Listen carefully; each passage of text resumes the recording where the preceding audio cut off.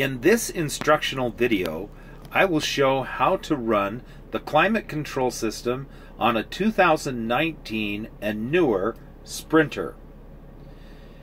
This system has a number of buttons and detents that can be added to depending on the options that you buy. Most standard air conditioning and heating systems will have these buttons. Temperature for higher or lower, fan speed higher or lower. To turn the system completely off, you would dial past 1 and the next detent is off.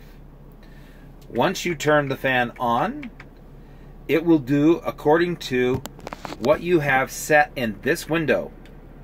This is controlled by this button. You have defrost and face, defrost face and floor, floor face only, face and floor, and back to defrost and face. This button, pushed on or off, will help with cutting down the amount of moisture and condensation on a wintry day.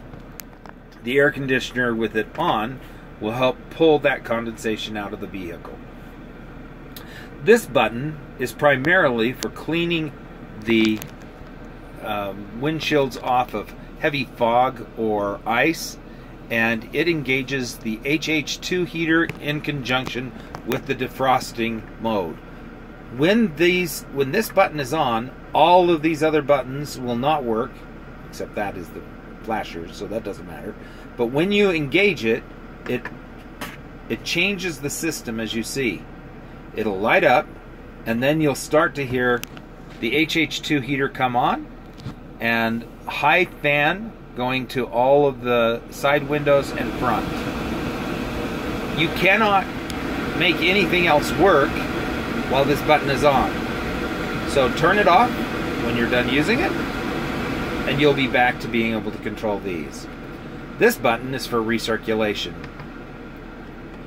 In recirculation, it'll pull floor air from the bottom and cabin air back through the system and heat it or cool it in uh, the mix with air coming from the outside. This button on the far end stands for a heated front windshield. This vehicle happens to have a heated front windshield. It turns itself off once it reaches that optimum temperature. Of course, you can turn it off yourself here. That concludes this instruction on how to do the air conditioning.